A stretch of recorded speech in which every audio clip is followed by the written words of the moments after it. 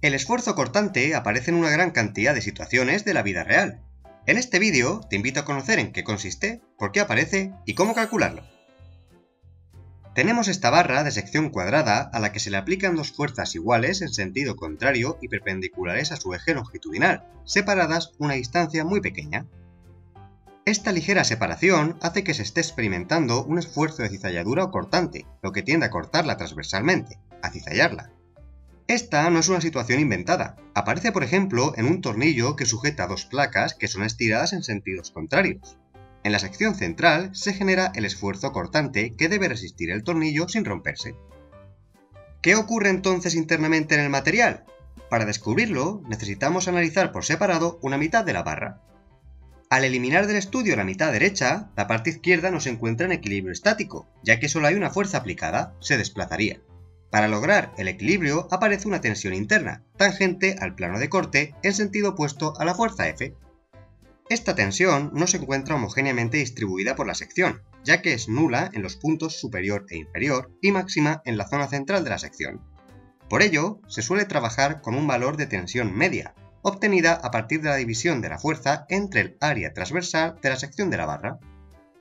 Esto es equivalente a decir que la tensión cortante por el área transversal es igual a la fuerza, cumpliendo el equilibrio estático. En este punto debemos hacer una distinción clara entre la tensión tangencial producida por un esfuerzo cortante y la tensión normal, que se produce por efecto de la tracción o la compresión. Mientras que la tensión normal es perpendicular a la sección, de ahí su nombre, la tensión tangencial es paralela a la sección, tangente, de modo que ambas tensiones forman 90 grados. Os recuerdo que tenemos un vídeo previo sobre tracción y compresión por si queréis profundizar más en esta temática. Hagamos ahora una investigación aún más profunda en la barra y cojamos un elemento diferencial, un trocito pequeño del interior de ella.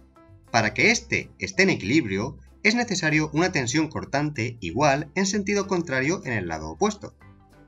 Pero ahora el elemento podría girar. Para evitarlo, aparecen otras dos tensiones tangenciales adicionales en dirección horizontal, que actúan entre las distintas fibras de la barra. Esta configuración de tensiones tangenciales produce una deformación en el elemento, conocida como deformación cortante y definida por el ángulo gamma. Es posible deducir el valor de gamma a partir del desplazamiento horizontal dividido entre la longitud vertical del elemento, teniendo en cuenta que para pequeños ángulos la tangente se aproxima al valor del ángulo. La relación entre la tensión cortante y la deformación cortante en la zona elástica de un material, que es aquella deformación que es reversible una vez cese la aplicación de la carga, sigue la ley de Hooke.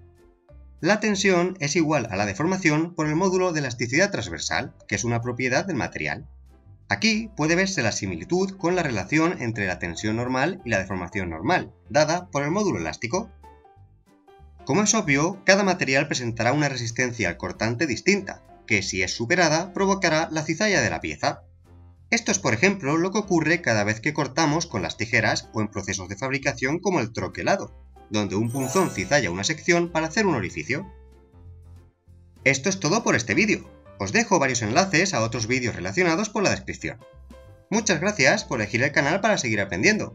Podéis dejar cualquier pregunta en los comentarios y estáis invitados a suscribiros. Gracias y recordad, en el saber nunca cabe la saciedad.